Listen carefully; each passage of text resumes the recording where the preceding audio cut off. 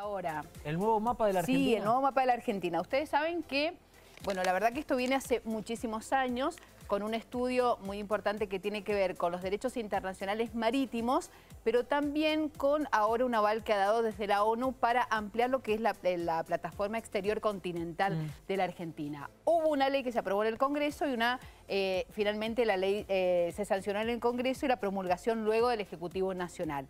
A partir de esto, lo que se cree es que ya con un nuevo mapa para la Argentina, los chicos y todos vamos a ver la Argentina y su mm. plataforma eh, exterior, la plataforma continental totalmente diferente, con un centro diferente, con un sur que ahora el sur va a ser el centro, como Ushuaia, Tierra del Fuego, las provincias del, centro que son, por ejemplo, Córdoba, Santa Fe, van a pasar a ser el norte mm. dentro de este mapa y sobre eso vamos a hablar. Bueno, es un tema realmente muy, pero muy interesante.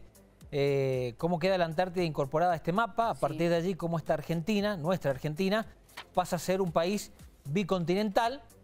Y si se la mira en toda la extensión que tiene nuestro país a lo, largo, desde la Quiaca al Polo Sur, cambia, como lo decías, este centro geográfico, eh, qué va a pasar con Córdoba, qué pasa con Santa Fe, eh, cómo quedan ubicadas. Bueno, y a partir de ahí la entrevista realmente muy, pero muy importante que tenemos ahora para hacer y vamos a saludar a Daniel Filmus, secretario de Malvinas, Antártida y Atlántico Sur de Cancillería. Eh, Filmus lo saluda Marcela Navarro y Sergio Suárez aquí en Canal 7 Mendoza. A ver si nos escucha por ahí. Daniel, ¿qué tal? ¿Cómo le va? A ver, ahí nos estamos acomodando. Hola, hola, sí, no sé si está por ahí, Daniel. Ah, bueno, ah, bueno, ahí nos acomodamos, ahí nos acomodamos y lo saludamos a Daniel Filmus para hablar de este tema. Eh, lo estuviste estudiando, lo estuviste investigando y ha causado eh, mucha gente preguntando por esto. Claro, sí, ahora vamos a preguntarle a él, digamos, cómo influye no solamente esta, extensión de la plataforma continental, qué pasa con las Islas Malvinas, con todas las islas que están ahí cerca también, qué pasa con las riquezas y con la plataforma extendida de las Islas mm. Y digamos esta disputa que hay entre Argentina y Gran Bretaña, eh, si la ONU sobre esa plataforma eh, puntualmente no se ha expedido, sigue esta disputa a nivel internacional y eso también se lo vamos a preguntar a Daniel Filmus, que es el secretario de Malvinas, Antártida y Atlántico Sur de Cancillería y que ha estudiado este tema y que viene, esto viene, es una decantación, la verdad, de muchos años de trabajo científico de, que se ha profundizado en estos últimos tres por parte de la ONU, pero la verdad que viene una disputa desde hace muchos años y que Argentina reclama por sus derechos. Así que sobre eso vamos a ampliar, cómo queda, vamos a hablar, cómo queda Argentina, cómo queda su plataforma. ¿Y qué estudiarán los chicos? Qué raro decir, bueno, el sur, que era el, que, el sur que es nuestro sur, sí. Eh, Tierra del Fuego ya no es el sur, sino va a ser el centro claro, en el eh, mapa. Y ahí lo dice nuestro grafo, cómo es parte de este nuevo diseño. ¿Qué tenemos que tener en cuenta? Eh, qué se va a estudiar en la escuela, cómo lo vamos a ver, eh, analizándolo con especialistas, con gente que ha trabajado y mucho en el tema de cómo es este nuevo mapa de la Argentina, cómo queda Tierra del Fuego en el centro, Santa Fe en el norte, y a partir de allí, cómo lo vamos a ver. Sin duda, todo concretamente, esto que demarca un nuevo límite exterior de la plataforma continental más allá de las 200 millas marinas eh, cada milla marina equivale a eh, casi dos kilómetros, tal como lo autorizó eh, hacer esta comisión de la ONU en el año 2016, hace un par de años atrás. Y debajo toda la riqueza que hay, ¿no? Que tiene que ver también con el mundo animal, con el mundo vegetal, con, con lo mineral también. Y lo que decía anteriormente, que esto es muy importante, es clave, porque esta disputa internacional va a seguir y, a, digamos hace muchísimo tiempo que está, no se ha pronunciado sobre los reclamos de la plataforma continental que tiene eh, como eje Malvinas, todo lo que rodea Malvinas, eh, así que no se reconoce puntualmente por parte de este organismo internacional ni que pertenecen a Argentina ni que pertenecen a los británicos. Si, parece, si les parece ahora, escuchamos antes, en la primera intervención que tuvo Alberto Fernández, antes Naciones Unidas, el repudio a la estrategia amenazante del Reino Unido de Islas Malvinas. Eh, si le parece, escuchamos esto y sobre todo esto de, no, de, de por lo menos seguir con esta disputa y abrir el diálogo en cuanto a lo que tiene que ver con lo diplomático. La palabra de Alberto Fernández. Quiero reafirmar los legítimos e imprescriptibles derechos de soberanía de la República Argentina sobre las Islas Malvinas, Georgia del Sur, Sandwich del Sur y los espacios marítimos circundantes, los cuales forman parte integrante del territorio nacional de Argentina, y que se encuentran ocupados ilegalmente por el Reino Unido desde hace ya más de 187 años. Este año se cumplirán 55 años de la resolución 2065, la primera adoptada por esta organización relativa a la cuestión de las Islas Malvinas, que solicitó a la Argentina y al Reino Unido mantener negociaciones que permitiesen alcanzar una solución pacífica y definitiva a esta disputa de soberanía. Claro lo que decía el presidente de la República Argentina, Alberto Fernández, y a partir de allí lo que, eh, cómo va a continuar trabajando nuestro país en este tema. Tenemos que recordar que entonces la Argentina promulgó la ley 27.757, que es la ley justamente de espacios marítimos.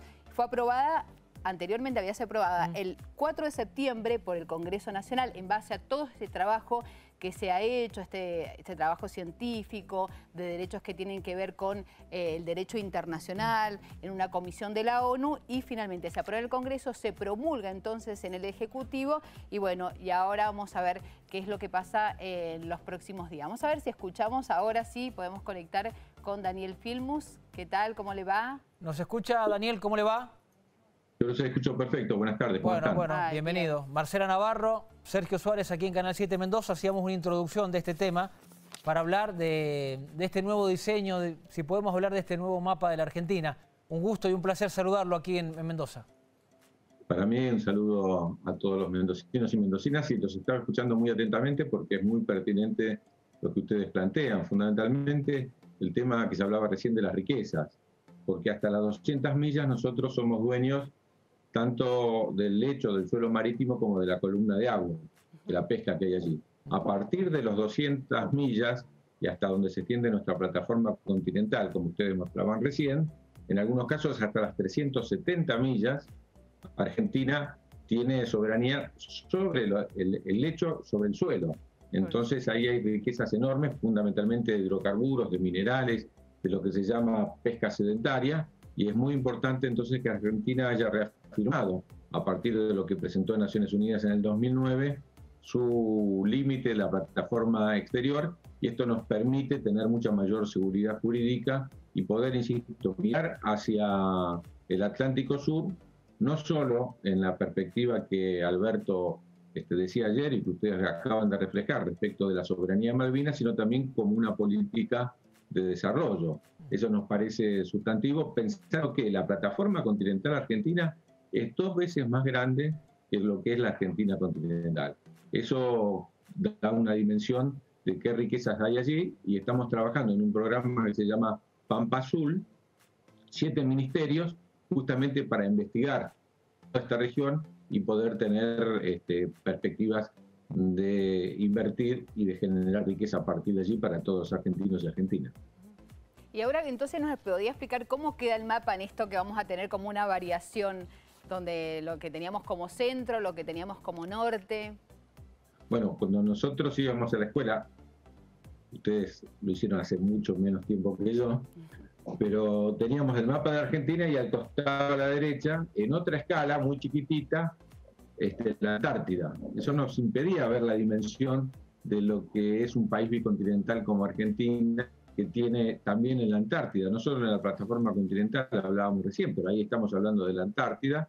La Antártida tiene 1.500.000 eh, kilómetros cuadrados de extensión, con lo cual, bueno, un, dos tercios de ello es tierra firme. Así que allí en la Antártida está buena parte del futuro de la humanidad. Como todos sabemos, la Antártida tiene las reservas de agua más importantes que hay en el mundo, tiene reservas de biodiversidad, tiene reservas de minerales, tiene este, realmente una riqueza enorme. Argentina es parte del Tratado Antártico, es sede también del Tratado Antártico que está aquí en Buenos Aires y eh, trabaja fuertemente para que nuestra presencia en la Antártida, que es la más vieja del mundo y la presencia más extendida también de los, de los países del mundo, tenemos 13 bases en la Antártida, sea una definición de soberanía muy importante, preservando la Antártida, Argentina de los países que tienen que preservarla, para cuidar el medio ambiente, para cuidar el futuro y la futura generación. Le pregunto, eh, Filmus, a partir de esto Argentina, el gobierno, todos, eh, debemos cuidar mucho más eh, lo que tenemos y, me refiero a la, donde van a buscar peces nuestros barcos y muchas veces cuando vienen barcos de otros lugares que se quieren apropiar de lo que es propio de la Argentina? Sí, a tal punto que el miércoles pasado en el Senado de la Nación también se le dio voto unánime a otra ley que se había comprometido el canciller Felipe Solá y el eh, presidente Alberto Fernández en enviar al Congreso, que multiplica por 50 las multas que le aplicamos a los buques que entran dentro de las 200 millas. ¿Por qué? Porque la ley que estaba vigente tenía multas del año 1998. Recordemos que en esa época había convertibilidad, era un dólar, este, un peso. A la diferencia que hay hoy, esas multas pasaron a ser irrisorias y costaba más caro a la Argentina capturar un buque pescando ilegalmente que lo que después recuperábamos por la multa. Entonces, para disuadir y para impedir que se lleven esta riqueza hipícola que el Atlántico Sur es uno de los lugares este, de, mayor, de mayor riqueza en el mundo, es que también, también en un tiempo muy breve hemos logrado aprobar por unanimidad esta otra ley. Así que Argentina se ha dispuesto no solo como planteaba ayer Alberto, a defender lo que es el ejercicio de la soberanía sobre las Malvinas, sino que también, para legitimar incluso ese ejercicio, ha colocado como eje central el tema del desarrollo mirando al Atlántico Sur y de cuidar lo que es nuestro. Porque es verdad que nosotros llevamos una disputa de 187 años con los británicos, Casualmente, para los que saben de historia, hace 187 años los británicos entraron justamente para disfrutar las riquezas de la pesca.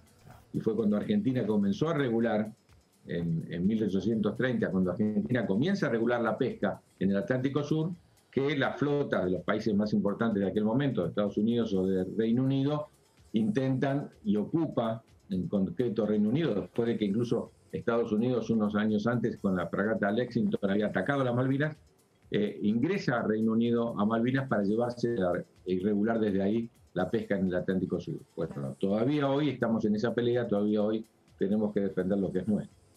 Eh, usted decía que se van a, mm, hacer trabajo en conjunto con siete ministerios. Le iba a preguntar eso, sobre qué, explotación económica se puede dar a partir de esto. Bueno, es bien interesante la pregunta. Por un lado, el Ministerio de Energía, porque es quien llama a licitación para los bloques para la explotación de hidrocarburos offshore. Por supuesto, el Ministerio de Agricultura y Pesca, que tiene que ver con todo esto que estuvimos hablando.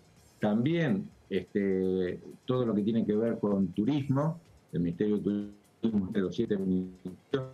Todo el tema de la investigación en acuicultura, que es muy importante, pero también estamos explorando con la gente de la Secretaría de Energía y con el ministerio correspondiente lo que tiene que ver de eh, energías no tradicionales, ¿no? energías marítimas que son Hay también, hay que decirlo, en el fondo del mar, una riqueza mineral enorme que eh, en, la, en la perspectiva de desarrollo y de crecimiento estamos investigando.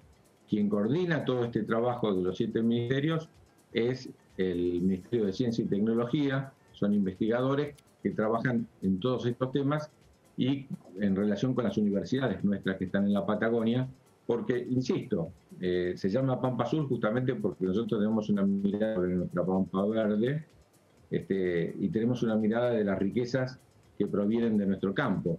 Pero todas las investigaciones muestran que si tenemos dos veces la extensión que tenemos en nuestro campo, la tenemos en el subsuelo marítimo, ahí tenemos otro tanto de riqueza. Es una perspectiva y una mirada hacia el futuro para el desarrollo enorme que hay que tener en cuenta con políticas que no sean políticas de corto plazo, sino políticas de mediano y largo plazo, porque se trata de inversiones muy importantes. Le hago, Daniel, la última pregunta de mi parte. Eh, el tema Malvinas, un sentimiento para todos los argentinos y lo que ha hecho cada gobierno, me, refiero en los últimos años.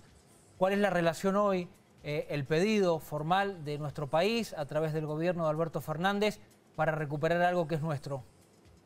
Bueno, el que hizo justamente ayer en Naciones Unidas. Se cumplen este año 55 años desde que Naciones Unidas le dijo a los dos países, a Reino Unido y, a la Argentina, que la forma pacífica y duradera de resolver este conflicto es a través del diálogo. Reino Unido entre 1965 y 1982 mantuvo diálogo con Argentina, después lo rompió y nunca recuperamos la posibilidad de dialogar sobre algo que Naciones Unidas todos los años, hace muy poquitos días ustedes habrán leído, el Comité de Descolonización de Naciones Unidas volvió a decirle a los dos países tienen que sentarse a hablar. Pero también habló ayer Alberto sobre otro tema que, al que hacíamos referencia recién. Hay otra resolución, que es la resolución 3149, que dice que ninguno de los dos países puede hacer nada en la zona en disputa sin la autorización del otro. Y mientras que Naciones Unidas dice eso, Reino Unido todos los días se lleva la pesca que es nuestra, intenta llevarse los hidrocarburos que son nuestros y ha colocado en las Malvinas una base militar que eh, realmente es una provocación para toda la región del Atlántico Sur, que es una región de paz. Entonces nosotros peleamos justamente para recuperar el diálogo por Reino Unido, siempre por la paz y siempre por la diplomacia, pero también queremos defender aquello que es nuestro. Daniel, muchísimas gracias por atendernos. Muy amable. Muchas gracias a ustedes y como dijeron ustedes, si uno mira ahora el mapa a lo largo de la aquí acá, que al mismo